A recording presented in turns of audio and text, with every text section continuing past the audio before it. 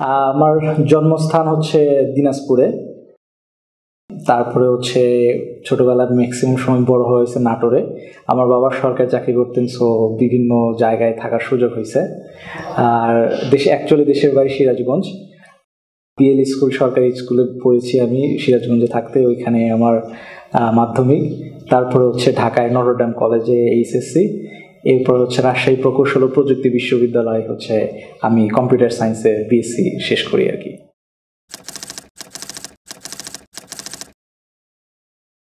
এই জার্নির মধ্যে সবচেয়ে বেশি এক্সাইটিং প্রত্যেকটাই এক একটা জায়গায় এক্সাইটমেন্ট ধরে রাখছে।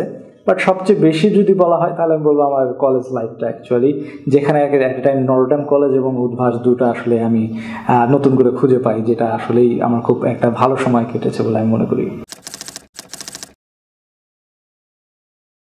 উদ্ভাসের জানিটা খুবই অ্যামেজিং ছিল।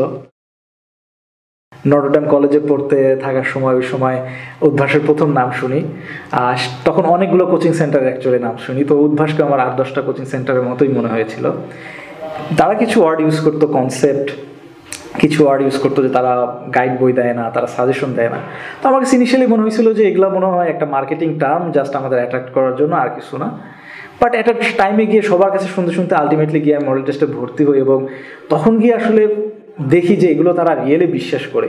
এবং অ্যাকচুয়ালি আমার কনসেপ্ট রিলেটেড জিনিসগুলোর প্রতি অত আইডিয়াও ছিল না। তখন গিয়ে বুঝতে পারি আসলে কনসেপ্ট নির্ভর পড়াশোনা আসলে কেন দরকার।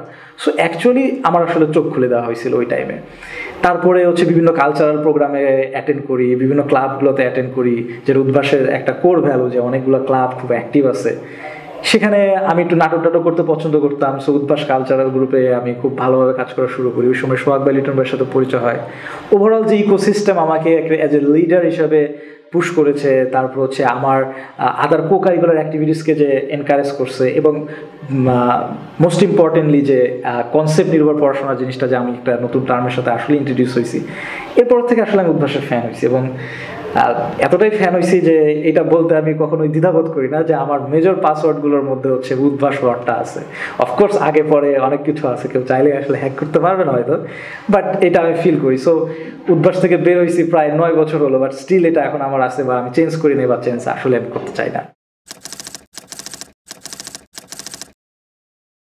উদ্ভাসের সবচেয়ে অ্যামেজিং সব ক্লাব ক্লাব এবং সব কিছুর মধ্যে, এতগুলো ক্লাবের মধ্যে সবচেয়ে অ্যামেজিং যেটা ছিল সেটা হচ্ছে যে, ওই যে যে টার্ম কনসেপ্ট শুনে আমি আসলাম। এটা একটা আমার কাছে ধোয়াশা ছিল বাট উদ্ভাসে আসার পরে আসলে বুঝতে পারলাম কনসেপ্ট আসলে কি। এবং অ্যাকচুয়ালি আমি যেগুলো আগে মনে করতাম বুঝে পড়া, আসলে ওটা বুঝে পড়াটা অ্যাকচুয়ালি আমি মুখস্থ করতাম। এবং অনেক কষ্ট হতো পরীক্ষার আগের রাতে রিভাইজ থেকে যখন আমি বুঝে পড়া শুরু করলাম, পরীক্ষার আগের রাতে আমি ফ্রি কারণ আমি জিনিসটা জানি। সো আমি ইজিলি হচ্ছে আমার আর পরীক্ষার আগের রাতে কষ্ট করে রিভিশন দেওয়ার কোনো দরকার নাই। আমি জাস্ট গিয়েছি এবং যেগুলো যেগুলো আমার কনসেপ্ট ক্লিয়ার আছে, আমি ওগুলোর জন্য ওয়েট করছি এইগুলোর যেন আমার কোশ্চেন পেপারে আসে। সো আসলে আমার তো টেনশন নাই। যে ধরনের কোশ্চেন দেওয়া হোক না কেন আমি পারব। সো মানে উদ্ভাসের কাছে এই এই কারণে আমি অনেক কৃতজ্ঞ। আদারওয়াইজ আমার পরবর্তী লাইফটা আসলে অন্যরকম হতো আর কি। টেকের শুরু হচ্ছে এক্স্যাক্টলি দুই হাজার তেরোর দশই মে যখন আমি থার্ড ইয়ারে পড়ি আমরা একটা অ্যাপ কন্টেস্টে পার্টিসিপেট করি ন্যাশনাল ইয়েটেল প্রথম আলো অ্যাপ কন্টেস্ট ওটা প্রথমবারে আমরা টপ টেনের মধ্যে ছিলাম এবং এখানে বেশ ইন্সপায়ার্ড হই। আর আগে থেকেই ফার্স্ট ইয়ার থেকে চিন্তাভাবনা ছিল একটু ব্যতিক্রম কিছু করার সাধারণ জিনিস আমার পছন্দ হতো না রুলসের বাইরে যেতে সবসময় পছন্দ হতো এবং মানুষকে নিয়ে কাজ করতে আমি খুব পছন্দ করি। সো সেখান থেকে চিন্তা করলাম যে, না, কি কেন না, আমি হচ্ছে একটা কোম্পানি স্টার্ট করি যেখানে আসলে আমি আমার আইডিয়াগুলোকে ইমপ্লিমেন্ট করতে পারব। এত আইডিয়া আসতো যে, রাতে ঘুমাতে বেশ অসুবিধা হতো। সো সেখান থেকে আর কি শুরু করা। এই মুহূর্তে টেক কেয়ার তিনটা প্রজেক্টে কাজ করতেছে। একটা হচ্ছে জাপানের প্রজেক্ট সেটা হচ্ছে একটা রেস্টুরেন্ট রিলেটেড অ্যাপ ওটা একটা প্রবলেম সলভিং নিয়ে কাজ করতেছে। রেস্টুরেন্টে যে খাবারগুলো অপচয় হচ্ছে বা প্রিভিয়াস অর্ডারের কারণে অর্ডার ক্যান্সেল হয়ে গেলে যেগুলো হচ্ছে, সেটা একটা ম্যানেজমেন্টের জন্য একটা অ্যাপ তৈরি করা হচ্ছে। আমরা সেটা কাজ করছি। আর একটা কাজ করা হচ্ছে ইউএস এর বস্টনের জন্য। ইউনিভার্সিটিগুলোর মধ্যে স্কুটার শেয়ারিং একটা প্ল্যাটফর্ম তৈরি করা হচ্ছে অ্যাপ রিলেটেড আরেকটা কাজ করা হচ্ছে সিডনির জন্য। ওইখানে হচ্ছে রাইড শেয়ারিং অ্যাপ নিয়ে কাজ করতেছি আমরা।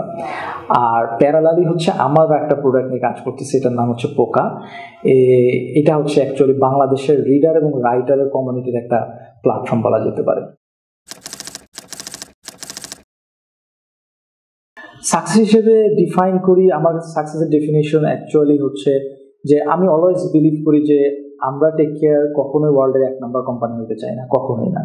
প্রতিযোগিতা বিশ্বাসী করি না আমরা একদমই না আমরা ওয়ার্ল্ডের সবচেয়ে হ্যাপিয়েস্ট কোম্পানি হতে চাই, সবচেয়ে সুখী কোম্পানি হতে চাই। সো ওইটা আমরা প্রত্যেক মুহূর্তে আমাদের ভিতরে কালচারের মধ্যে প্র্যাকটিস করি এবং এটা হতে গেলে আমাদের আসলে খুব বেশি দৌড়াদৌড়ি করার দরকার আমরা আজকের দিনে বলে দিতে পারি, আমরা খুব হ্যাপি আমরা সেই কালচারটা আমাদের মধ্যে তৈরি করছে। এবং আমাদের যে টিমটা তৈরি হয়েছে, যে হ্যাপি টিমটা তৈরি হয়েছে, এইটা আমার কাছে সবচেয়ে বড় সাকসেস যে হ্যাঁ আমি একটা টিম এমন একটা টিম তৈরি করতে পারছি, যারা অ্যাকচুয়ালি হচ্ছে রিয়েল প্রবলেম আমরা প্রতিনিয়ত সলভ করতেছি। এটাই আমার কাছে সাকসেস অ্যাকচুয়ালি এটা হচ্ছে আমি ফার্স্ট ডেতেই বুঝে গেছিলাম যে চাকরি আমাকে দিয়ে হবে না এটা হলো প্রথম কথা। কারণ আটটা টু পাঁচটা, নয়টা টু ছয়টা অফিস আমাকে তো হবে না। আমি সকালে লেট করে উঠি, রাতে হয়তো জাগি বা আমার রুলস অ্যাকচুয়ালি পছন্দ না। সো আমি সেই রুলসটা চেঞ্জ করতে পারব না, দেখি হয়তো আমি এই লাইনে আসছি। আরও পিছনে কিছু কারণ ছিল, যেমন আইডিয়াগুলো ইমপ্লিমেন্ট করার জন্য খুবই উৎসাহী হয়ে থাকতাম, আমার আইডিয়াগুলো এক্সিকিউট হবে। রিয়েল প্রবলেমগুলো আমাকে সত্যি ভাবাতো যে এই প্রবলেমগুলো অ্যাকচুয়ালি সলভ করা সম্ভব কেন কেউ করছে না।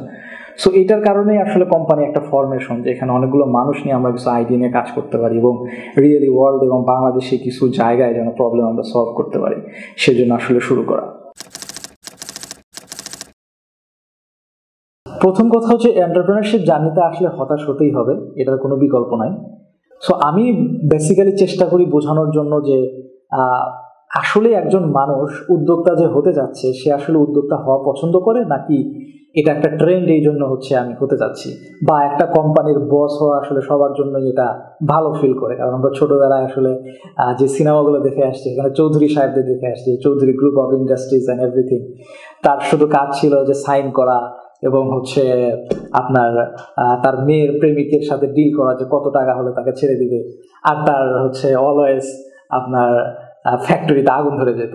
এছাড়া অ্যাকচুয়ালি আমরা কাজ দেখিনি। সো সেইটা যদি মাথায় থাকে যে আমি চৌধুরী সাহেব হইতে চাই, তাহলে আসলে অ্যাকচুয়ালি কারও এন্টারপ্রেনারশিপে আসা উচিত না। কারণ এই ইটস এ জার্নি এবং সবসময় রিক্স থাকবে।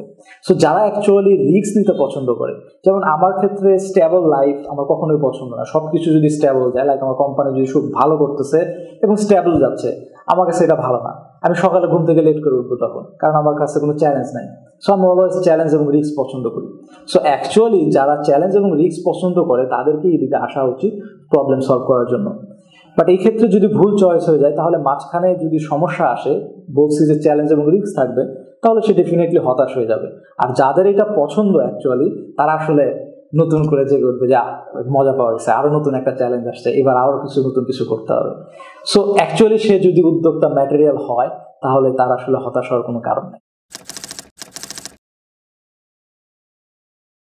প্রথম দিকে যখন শুরু করি, তখন তো ফ্যামিলি বা সোসাইটি সবাই হচ্ছে যে হাইপ চলতেছে যে সরকারি চাকরি করতে হবে বিসিএস দিতে হবে অথবা দেশের বাইরে যেতে হবে। তো আমি, আমার অলওয়েজ আমার প্যাশন নিয়ে আমি লেগেছিলাম।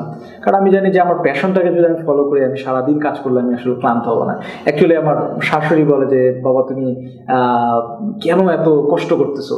আমি তাকে বলে, আমি তো কষ্ট করতেছি না, আমি পরিশ্রম করতেছি বাট আমি মজা পাচ্ছি।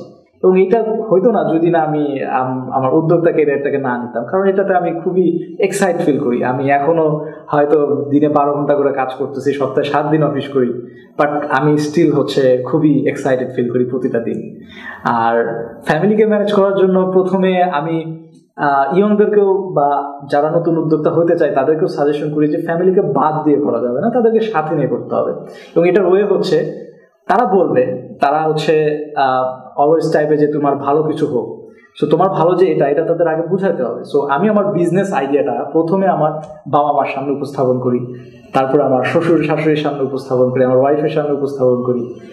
তারা যখন আইডিয়াটা শুনলো, তখন কিন্তু আর চিন্তা করে নাই যে, তখন কিন্তু ভীষণটা দেখতে পারছে যে, এটা আসলে কোথায় যাবে। সো টু বি এক্স্যাক্ট যে আজকে আমাদের পাঁচ বছর পূর্তি হচ্ছে, এই দশে মে, পাঁচ বছর আগে শুরু করেছিলাম। সো তখন তারা যে বিশ্বাসটা করেছিল আমার আইডিয়ার উপর এখন তারা প্রাউড ফিল করে। সো এটাই মানে যারাই শুরু করুক না কেন, তাদেরকে অবশ্যই আপনার ফ্যামিলিকে পাশে নিয়ে শুরু করতে হবে, কারণ তাদের সাপোর্ট ছাড়া অ্যাকচুয়ালি ইটস নট পসিবল আমি এই জার্নিটা খুব এনজয় করতেছি। কোথায় যাব সেটা নিয়ে আমি খুব বেশি চিন্তিত না। জাস্ট এই টোটাল জার্নিটা আমার খুব মজাদার লাগতেছে। প্রত্যেক মুহূর্তে চ্যালেঞ্জ এবং রিস্ক যেতে চাই হচ্ছে এখন যদি বলেন আমাদের কোম্পানির ফিউচার প্ল্যান কি, তাহলে হচ্ছে যে আমরা এখন অলরেডি তিনটা কান্ট্রিতে আমাদের অফিস আছে। সো এটা আসলে অলরেডি আরও অনেকগুলো কান্ট্রিতে আমরা স্ট্যাবলিশ করতে চাই এবং আমরা প্রুফ করতে চাই যে একটা বাংলাদেশি কোম্পানি ইন্টারন্যাশনাল লেভেলে অনেক ভালো করতে পারে এবং সেটা আলহামদুলিল্লাহ অনেক ভালোভাবে আগাচ্ছে এবং আমরা খুব হোপফুল এটাতে।